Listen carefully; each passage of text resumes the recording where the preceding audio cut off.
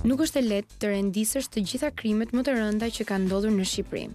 Por ngjarjet e fundit kanë sjellë debate të fortë për faktin se ku po shkon shoqëria shqiptare. Por përse vrasin, dhunojnë apo trafikojnë shqiptarët? Sociologët dhe psikologët ngrenë pyetjet pse ngjarjet e kronikës së zezë tërheqin vëmendjen e ndjekësve më shumë se gjithçka tjetër. Këto ditë të shumta ishin pyetjet kush është Dritan Rexhepi, Vrasësi i parë me pagesë në Shqipëri që u bë mbreti i drogës dhe që u arrestua në Ekuador. Ndërkohë të gjitha faqet e para të gazetave, edicionet informative, emisionet dhe panelet televizive gëluan para disa muajve me lajmin e zhdukjes së të ashtuquajturit mbret i lojrave të fatit, Ervis Martinaj, ku fati i të cilit nuk dihet edhe sot. Sipas statistikave, Shkodra është një nga qytetet me kriminalitetin më të madh në Shqipëri, ku policia e shtetit nuk ka fuqi të vendosë paqen mes bandave. Po pse lajmet e kronikës kanë interes kaq të madh duke u kthyer në hit të ditës? Për të diskutuar për lajmet e krimit që pushtojnë rrjetin, do të flasim me gazetarët e terrenit të krimit. Ja ku jemi në studio pra dhe jam këtu me tre goca, ato janë goca shumë të afta në fushën e tyre, aq më tepër kur bëhet fjalë të merresh me krimin, do guxim në fakt që një gazetare e gjinisë femërore të merret edhe me krimin, dhe ato janë këtu me mua, janë të treja, Blerina Spaho, mirë se erdhe, Bleona Sari, dhe Glidona Daci, mirë se erdhët këtu me mua. Atëherë le themi që krimi është ndër lajmet më të klikuara sot në të gjitha portalet, në të gjitha mediat. Po themi që është aty aty me showbizin, domethënë. Janë dy fusha të rrahura, por krimi më së shumti duke e patur parasysh edhe moshën e madhe që klikon për lajmet e krimit. apo jo? Ta nis unë, e nise the lajmet e krimit janë të klikuara aq sa të showbizit. Ndoshta për vetë faktin se herë pas here kemi një ndërthurje mes krimit edhe showbizit dhe prandaj njerëzit bëhen më shumë kureshtarë, ose e thënë me gjuhë të thjeshtë dhe popullore, ne shqiptarët vdesim të dimë çfarë bën tjetri.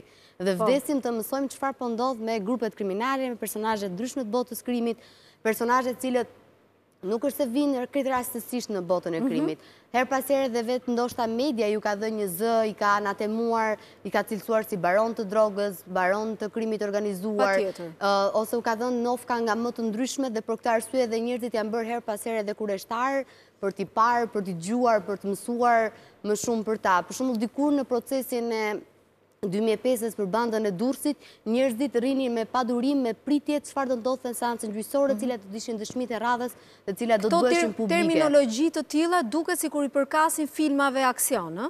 Deri diku grupet kriminale... Edhe kjo sikur e bën dhe më tërheqëse.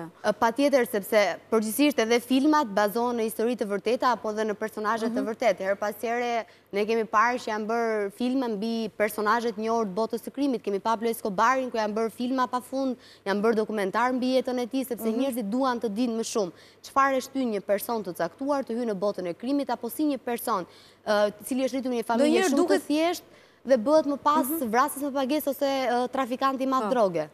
Ndonjëherë duket sikur këto, si t'jua them, këto emra të filmave, këto personazhe si Pablo Escobar që e përmendi vajza, duket sikur janë një lloj mburrje për personat dhe për çunat e botës së krimit.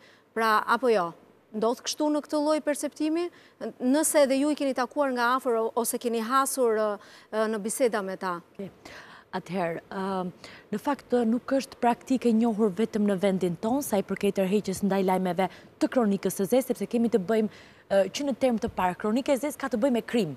brenda familjes, grupe kriminale, konflikte, të cilat janë, natyra njerëzore është më e ndjeshme dhe tërhiqet më shumë. Është praktikë e njohur në të gjithë botën, në mediat ndërkombëtare por dhe botërore, nëse do të shohim apo kemi bërë investigime, lajmet e kronikës së zezë janë më të klikuarat më shumë se sa të showbizit por edhe politikës, sepse është diku tek është një balancë mes politikës dhe kronikës së zezë, më pas vjen showbizi.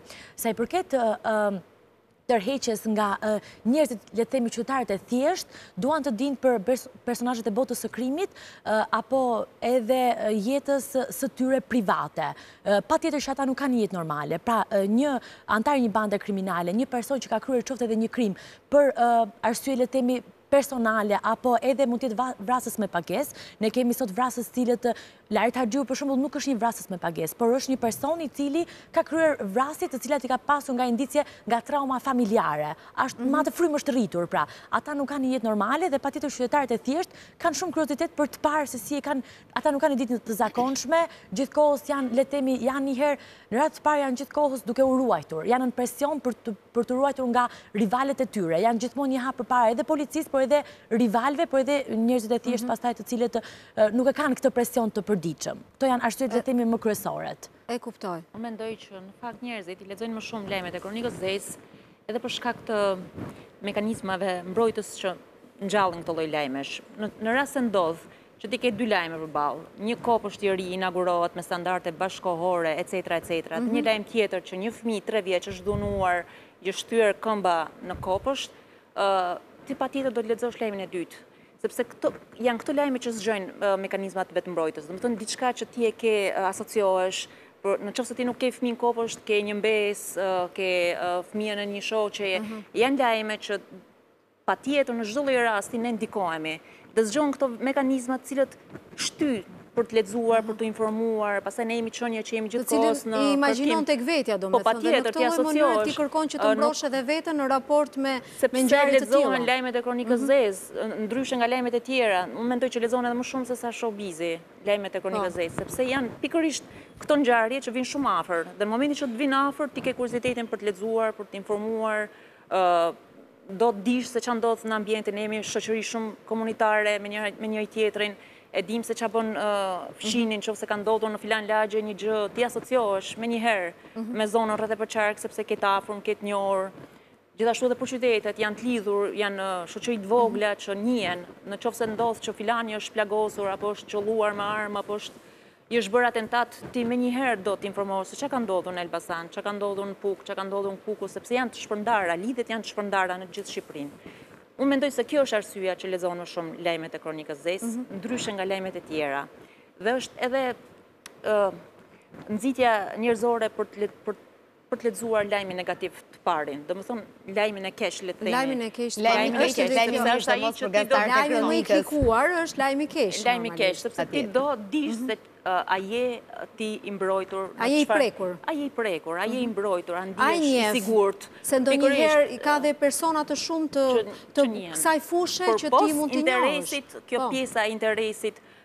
Për thashetheme apo për një gjë për të ditur diçka më shumë. Pra ideja e emrave apo jo? Pa diskutim përpos idesë së emrave ka dhe një gjë tjetër që ne duhet ta theksojmë. Përgjithësisht personazhet e botës së krimit në komunitetet e tyre ose në vendet e tyre, unë disa prej tyre kam pasur rastin mhm. t'i takoj apo familjet e tyre, janë familje shumë të respektuara, janë familje të thjeshta, familje të cilat qëndrojnë në pjesën e tyre. Asnjëri nga ata të cilët po të themi qoftë Dritan Rexhepi, Vis Martinaj, Laert Haxhiu, Redjan Rraja, apo persona të tjerë të cilët janë më të përfolurit për mhm. momentin, nuk kanë ardhur krejt rastësisht në botën e krimit. Disa prej tyre për shembull, po të marrim rastin e pjesës tjetër përjashtuar Vis Martinajn se është rast mhm. më vete, i cili vinte nga një familje shumë e mirë edhe nga ana ekonomike, mhm. edhe një djalë i shkolluar jashtë vendit, i mbaruar me fakultet dhe hyri në botën e krimit sepse kishte atë mitin e të fortit. Dua të jem i po. fort. Dhe përgjithësisht po kalojmë tek këto personazhet e filmave, pra që përmenda unë pak më përpara. Pikërisht, është miti i të mhm. qenurit i fort, ndërsa disa nga personazhet e tjerë të botës së krimit, disa prej tyre e kanë nisur thjesht për të pasur një të ardhme më të mirë apo disa të ardhura të tjera financiare.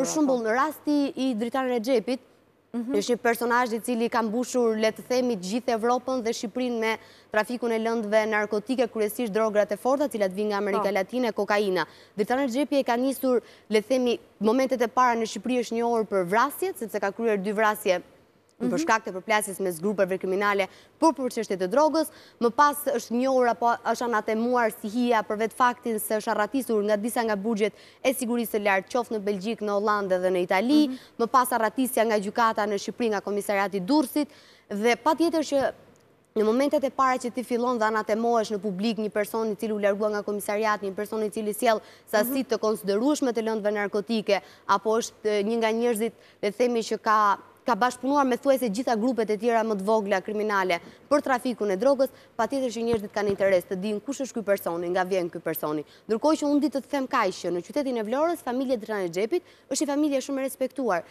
janë njerëz shumë të thjeshtë, përpos emrit të Dritan Rexhepit çfarë bën ai apo çfarë përfaqëson ai në botën e krimit.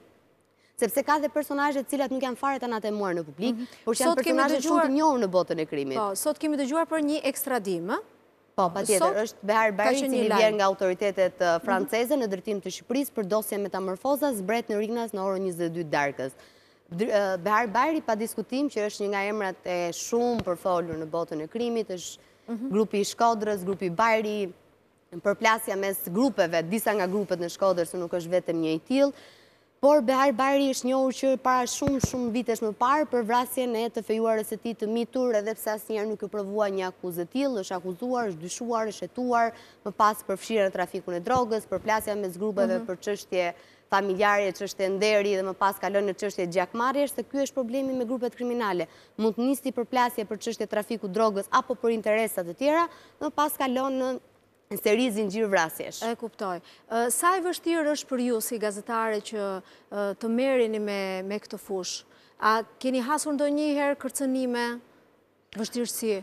Atëherë, Kronika e Zezë, e thashë edhe në fillim, është një nga sektorët më të vështirë të gazetarisë. Patjetër. Sepse duhet marrë parasysh fakti që ti duhet të jesh nën presion në momentin që përmend emra krerësh bandash kriminale, persona të cilët edhe merren personalisht me gazetare. Patjetër që ka pasur raste të tilla, por në këtë moment ti duhet të vësh patjetër në në në diskutim, nuk duhet të vësh në diskutim nëse do të vazhdosh përpara apo jo, sepse kërcënime të tilla ka ka kudo, ka punë të tjera, të cilat janë më të thjeshta dhe patjetër përplasesh me vështirësi të ndryshme.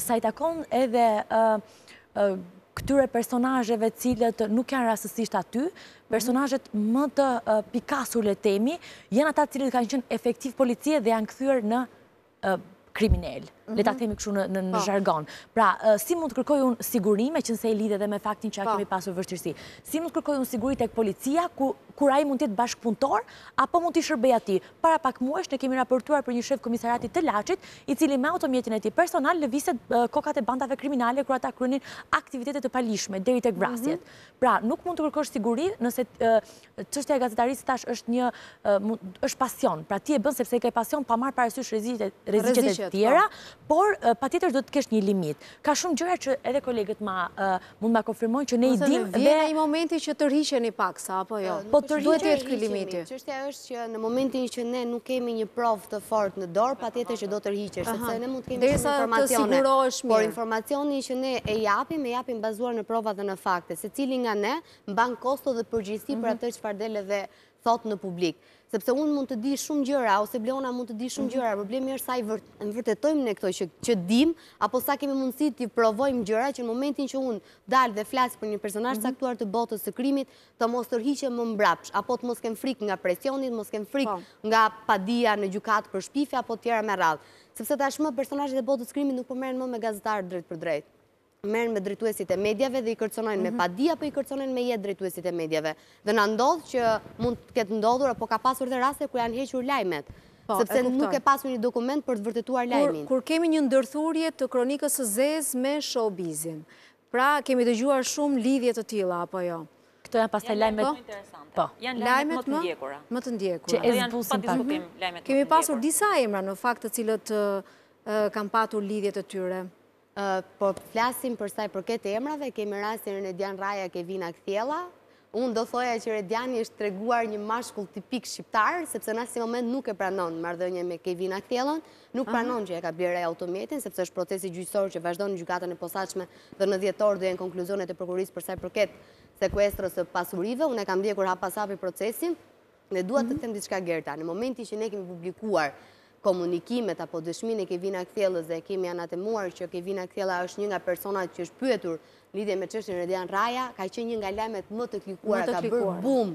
Domethënë të gjithë njerëzit në një nga portalet qëndronte lajmi kryesor dhe lajmi më i klikuar për një javë rresht, sepse njerëzit ishin kureshtarë të dinin vërtet, ka ndodhur kjo gjëja, Si ka qenë marrëdhënia e tyre etj e me radhë. Mhm. Si deri ku do shkojë procesi? Si mendon? Atëherë, në rast prokuroria e posaçme pretendon dhe ka të faktuar dhe të provuar që atë ditën e ngjarjes, siç në deklarimet paraprake po. Redian Rraja thekson që ka qenë në një nga hotelet e Durrësit me Kevina Kthellën nuk rezulton e tillë, është provuar nëpërmjet komunikimeve që ata kanë pasur një marrëdhënie mes tyre dhe besoj shumë shpejt SPAK do kërkojë konfiskimin e automjetit të modeles për vetë faktin se Sipas prokurorisë është blerë nga Redian Rraja. Dhe automjeti është në emrin e Kevinës. Është në emrin e Kevinës, po. Është automjeti i cili është sekuestruar. Po Kevina ç'do bëhet me Kevinën? Domethënë është e përjashtuar nga kjo ngjarje apo jo? Kevina deri në këtë moment nuk është paraqitur asnjëherë në dyert e gjykatës, është përfaqësuar me avokat të caktuar kryesisht sepse nuk ka sjellë as avokat në procesin gjyqësor, pasi ajo ka pretenduar që automjetin e ka blerë me paratë e saj dhe se nuk ka lidhje, por do të shohim se cili do të jetë qëndrimi përfundimtar sepse fjalën e fundit e thotë gjykata. Kemi edhe një rast tjetër të Eldi Dizdarit. Patjetër Eldi Dizdari dhe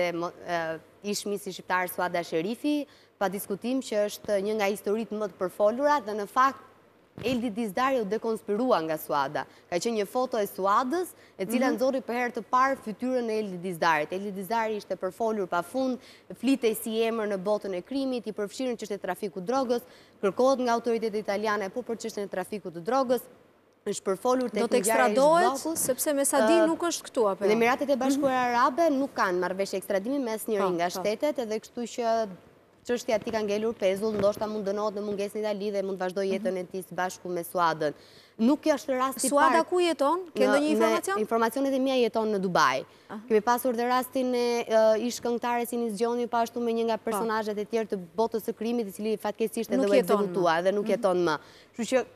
Është një janë histori të njohura, pjesa e mhm. vajzave të showbizit me personazhet e botës krimit, mhm. sepse edhe ato vetë gocat e showbizit synojnë. E synojnë, pikërisht, pse e synojnë pra? Pse mendoni se këto vajzat e showbizit krijojnë këto lidhje dhe marrëdhënie me djem të tillë. të cilët janë të botës krimit. Unë nuk di të them të një nga arsyet se pse e krijojnë këtë marrëdhënie, por sa i përket lajmeve, Kronika e Zezë thamë jep lajme negative, lajme të këqija, kryesisht pra krim. Dhe kur bëhet bashkë me showbizin, atëherë kjo zbutet disi. Pra Kronika e Zezë le të themi kthehet në një gjë më interesante se sa negative. Pra lajmi që përmendi edhe kolegja më herët, nuk ka të bëjë me asnjë krim, pra aty askush nuk është lënduar, aty askush nuk është vrarë, Por, një personazh i botës krimit i cili ka vepra të tjera, patjetër që modelja në fjalë nuk mhm. është marrë me punët e tij, por thjesht ka pasur një lidhje intime me të e cila është e drejta e saj, mhm. pavarësisht se nga hetimet pastaj ka rezultuar që dhuratat e shtrenjta që i mhm. bënte, apo ishin të përfituara nga krimi, gjë e cila nuk është mhm. në le të themi në kurriz të modeles. Por, patjetër që këto lajme janë më mhm. interesante, sepse zbuten, pra thashë disi te kronika e zezë, për shkak se nuk është njësoj të raportosh për një ngjarje ku kanë humbur jetën disa persona, dhe për një ngjarje tjetër që ka të bëjë me personazhe të të njohur të të të VIP-ave, për shembull si modelet apo këngëtaret mhm. apo edhe personazhe të njohur. Po kur hyn kur hyn në burgje këta, a shkojnë të dashurat e tyre këto gocat që t'i vizitojnë brenda? Unë do po. t'ja vetëm një rast, po. është po. rast shumë i vjetër, nuk po i përmend emrat sepse dy personazhet Kanë jetën e tyre, po, po, ka zgjedhur në shumë raste ka vajtur dhe më pas kur personi po ishte në prag të dënimit herë pas here kontaktonte gazetarë dhe thoshte që ajo nuk po vjen të më takojë dhe unë po luaj mëndsh. Gjë që ka pasur dhe këto që kanë zgjedhur le të themi këtë lloj momenti për të mhm. shkëputur nga ata persona dhe për të nisur jetën e tyre. Nuk po i them emra, sepse secili prej tyre tashmë ka jetën e tij. Janë të ndarë, po. Janë të ndarë, kanë vazhduar jetën në dy drejtime të ndryshme. Mhm. Por ka pasur dhe raste që vajzat i kanë pritur. Po? Le të themi këto kontingent kriminal, sepse thashë pra po. janë njerëz me CV kriminale dhe patjetër nuk janë qytetarë të thjeshtë, por mhm. ka pasur raste që për sa kohë ai ka pasur një dënim deri diku deri në 7 ose 8 vite, rasti i fundit, i cili një personazh i botës krimit i cili përfundoi, mhm. le të themi, përfundoi burgun përpara pak muajsh, Vajza shkonte dhe e takonte deri ditën që ai përfundoi burgun.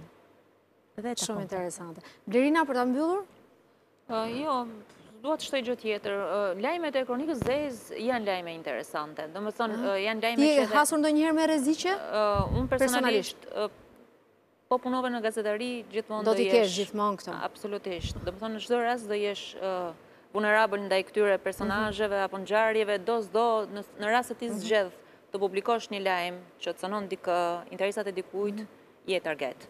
Problemi është se media shqiptare e kalon çik cakun e informacionit, domethënë, informacion përtej interesit publik. Filtrat mendoj unë që duhet të jenë çik më të më të zgjedhur për të për të dhënë informacione dhe për të ruajtur edhe intimitetin, edhe jetën, edhe privatësinë, edhe informacione që janë pak harsh ose të rënda për publikun. Unë dëgjoj shumë shpesh njerëz që thonë kam heq dorë nga lajmet e kronikës zezë, sepse Dhe nuk i lexojmë më, domethënë sepse është një rëndesë psikologjike dhe kur pavarësisht se njerëzit vazhdojnë të lexojnë. Jemi në kufirin e Kjo është historia, domethënë filtra, filtra edhe informacion i përzgjedhur.